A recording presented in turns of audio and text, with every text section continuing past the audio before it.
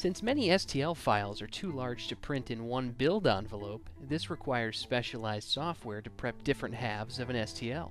Where constructing things like lap joints are necessary, SpaceClaim now supports the editing of STLs to ensure proper fittings are possible. For example, take copied curve entities and resize as desired. Even add draft to complicated faces of solids, ensuring the two halves fit cleanly. And the most important and final step is to merge the solid bodies with the STLs. The new release of SpaceClaim and its STL Prep for 3D printing module lets users extract data from an STL and construct accurate lap joints. Think of SpaceClaim as your solid body and STL editor all in one to let you 3D print parts faster. Thank you for watching. For more information, visit spaceclaim.com.